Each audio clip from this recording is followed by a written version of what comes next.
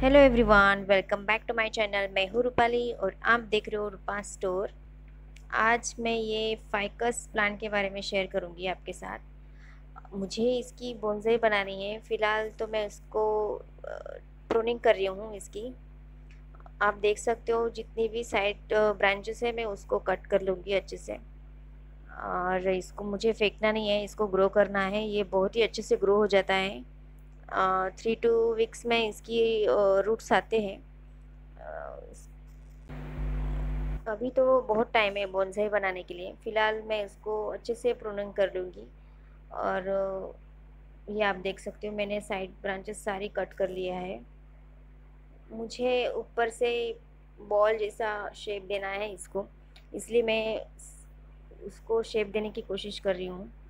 Ball जैसा, जब भी ये इसकी ग्रोथ अच्छे से हो जाएगी तो ये बॉल जैसा दिखने लग जाएगा। एक आध महीने में। ये देखिए, इसकी जो ब्रांचेस मैंने कट कर लिए है, इसको मैं अभी ग्रो कर लूँगी। फाइकस में बहुत सारी वैरायटीज़ आती है गाइस उसमें से एक वैरायटी मेरे पास है और ये बहुत ही अच्छे से सर्वाइव करता है। अगर आप वीक में या दो वीक में पानी देते हैं उसे तो भी अच्छे से चलता रहता है ये। और इसकी जो पत्तियाँ हैं, ये बहुत ही शाइनी होती है, इसलिए ये बहुत ही ब्यूटीफुल लगता है अपने गार्डन में अगर आप इसे ग्रो करते हो तो। इसकी जो ब्रांच है, ये एक दो इंच अंदर मिट्टी में दबानी होती है और इसीलिए मैं इसकी जितनी भी नीचे वाली पत्तियाँ हैं, इसको मैं हटाने वाली हूँ, हटा रही हूँ। ये आप देख सकते हो। बहुत ही छोटी छोटी कटिंग्स ली है मैंने और उसको भी मैं ग्रो करूँ, करूँगी। और इसकी अपडेट मैं आपके साथ ज़रूर शेयर करूँगी। आप आगे तक वीडियो देखते रहिए। क्योंकि ये वीडियो बहुत ही लंबी होने वाली है। ये देखिए कितनी छोटी कटिंग है। और इसको भी मैं ग्रो करूँगी और इसकी ही रूट्स मैं आपको दिखाऊँगी आगे। और आप जानते हो जब भी आप कटिंग लगाओ तो मिट्टी में बहुत ज़्यादा पानी देना है। जब तक नीचे से ड्रेनेज होल में से पानी बाहर नहीं निकल निकल आता। ये देखिए मैं, ये देखिए आप दिखा रही हूँ मैं आपको। जब भी आप कटिंग लगाओ, तब पानी आपको उतना देना है गमले में जब तक ड्रेनेज होल में से पानी बाहर नहीं निकल आता है।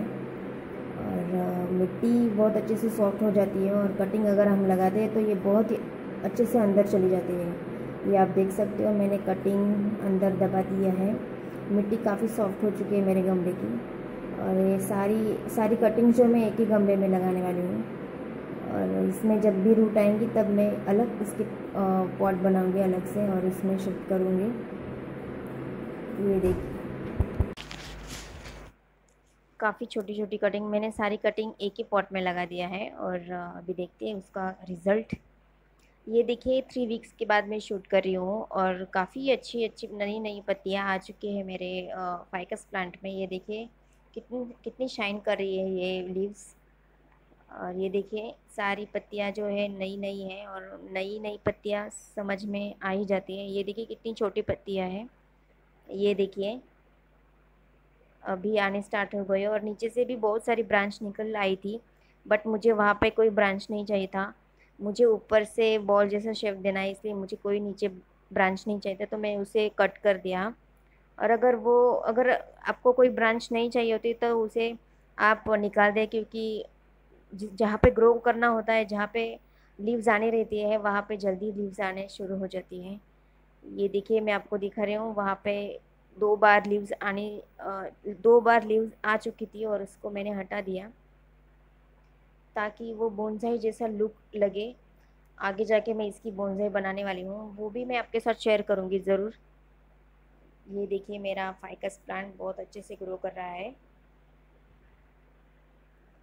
ये लीव्स, ये जो स्टेम है आप देख सकते हैं, वो रहने दूँगी मैं। वो काफ़ी अच्छा लुक आता है उसका। और अच्छे से बॉल जैसा शेप आ जाएगा इसको ये देखिए। चलिए, अभी देखते हैं जो कटिंग्स मैंने लगाई थी, वो उसका रिज़ल्ट कहाँ तक पहुँचता है। उसकी जो रूट्स आई है, वो आई है कि नहीं हम देखेंगे अभी। लेकिन उससे पहले मैं आपको दिखाऊँगी, यहाँ पे भी जो नई पत्तियाँ है, वो दिख रही है। ये जो ये जो आप देख रहे हो, ये नई पत्तियाँ है। और ये ये भी पत्तियाँ की शुरुआत है यानी कि, ये देखिए यहाँ पे भी एक नई पत्ती आई आ चुकी है। अभी हम रूट्स देखेंगे, कैसी है इसकी रूट्स आई है कि नहीं। मैं आपको एक कटिंग निकाल के दिखाऊँगी।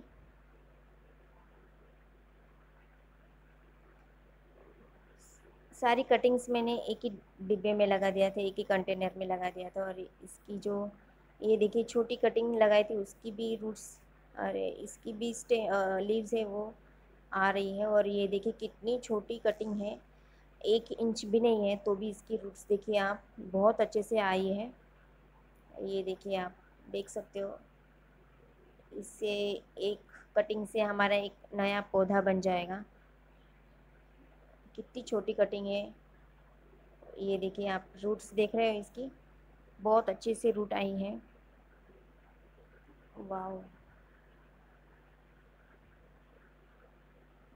तो गाइज़ अगर आपको फाइकस की कटिंग लगानी है तो आप इस तरीके से कटिंग लगा सकते हो। इस तरीके का आपको शेप देना है तो आप बोनसाई बनानी है तो आप इसी तरीके से कर सकते हो। और आपको अगर मेरा ये वीडियो अच्छा लगा तो मुझे लाइक सब्सक्राइब करिए। और बेल आइकन को ज़रूर प्रेस करिए, ताकि मेरे आने वाले हर नए वीडियो का नोटिफिकेशन आपको मिल जाए। Thank you for watching